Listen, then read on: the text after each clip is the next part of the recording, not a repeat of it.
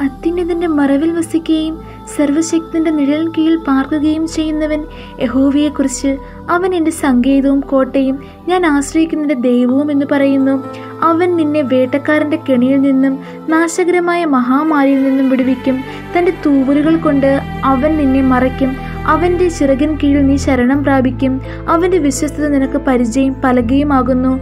രാത്രിയിലെ ഭയത്തെയും പകൽ പകർക്കുന്ന അസ്ത്രത്തെയും ഇരുട്ടിൽ സഞ്ചരിക്കുന്ന മഹാമാരിയെയും ഉച്ചയ്ക്ക് നശിപ്പിക്കുന്ന സംഹാരത്തെയും നീ പേടിപ്പാനില്ല. നിന്റെ വശത്ത് ആയിരം പേരും നിന്റെ വലതുവശത്ത് പതിനായിരം പേരും വീഴും. എങ്കിലും അത് നിന്നോട് അടുത്തു വരികയില്ല. നിന്റെ കണ്ണുകൊണ്ട് നിന്നെ നീ നോക്കി ദുഷ്ടന്മാർക്ക് വരുന്ന പ്രതിഫലം കാണും. യഹോവേ നീ എന്റെ സംഗീതമാകുന്നു നീ അത്യുന്നതിനെ നിന്റെ വാസസ്ഥലമാക്കിയിരിക്കുന്നു. ഒരു അനർത്ഥവും നിനക്ക് ഭവിക്കുകയില്ല ഒരു ബാധയും നിന്റെ കൂടാരത്തിന് അടുക്കുകയില്ല നിന്റെ എല്ലാ വഴികളിലും നിന്നെ കാക്കേണ്ടതിന് അവൻ നിന്നെക്കുറിച്ച് തന്റെ ദൂതന്മാരോട് കൽപ്പിക്കും. നിന്റെ കാൽ കല്ലിൽ തട്ടി പോകാതിരിക്കേണ്ടതിന് അവർ നിന്നെ കൈകളിൽ വഹിച്ചുകൊള്ളും. സിംഹത്തിന്മേലും അണലിമേൽ നീ ചവിട്ടും. ബാലസിംഹത്തെയും പെരുമ്പാമ്പിനെ നീ മിതിച്ചു കളയും.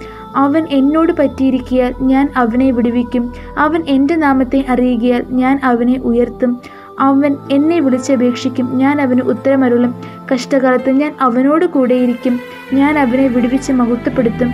ദീർഘായുസ് കൊണ്ട് ഞാൻ അവന് തൃപ്തി വരുത്തും എന്റെ രക്ഷയെ അവന് കാണിച്ചു കൊടുക്കും